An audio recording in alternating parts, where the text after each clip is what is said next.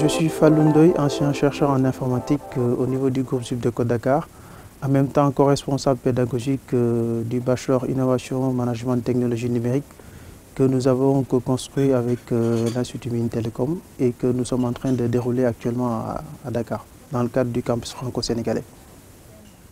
À quelqu'un qui ne connaît pas Médiane, bon, je lui dirais de, de ne pas rater Médiane surtout, au moins d'y participer une fois pour rencontrer des, des, anciens chercheurs, apprendre sur les pratiques pédagogiques, euh, sur l'innovation.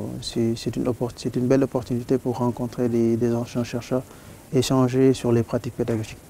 Je dirais plus c'est une remise en cause à mon niveau, parce que ça m'a permis de, de m'interroger sur, sur, mes enseignements, dans la mesure où l'alignement pédagogique est quelque chose qui est, qui est important, parce que ça permet d'aligner euh, les apprentissages visés, euh, tout ce qui est technique pédagogique et, les évaluations.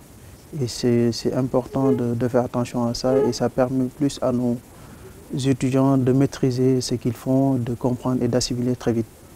Euh, partage, euh, innovation et, et, rencontre. Je prévois d'organiser des, présentations avec mes collègues. pourquoi pas essayer de reproduire quelques ateliers auxquels j'ai eu à participer avec mes autres collègues.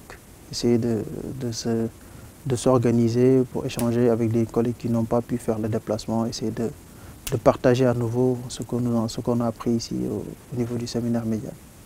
Oui, tout à fait, parce que euh, nous avons beaucoup appris et je pense qu'il euh, suffit juste de leur euh, présenter ce que nous avons appris ici. Ils n'hésiteront pas à, à, venir. Et de notre côté aussi, je pense que c'est prévu d'inviter d'autres collègues, puisque nous, nous avons eu l'opportunité d'y participer, enfin, moi avec d'autres collègues. Donc je pense qu'ils ne vont pas hésiter à venir.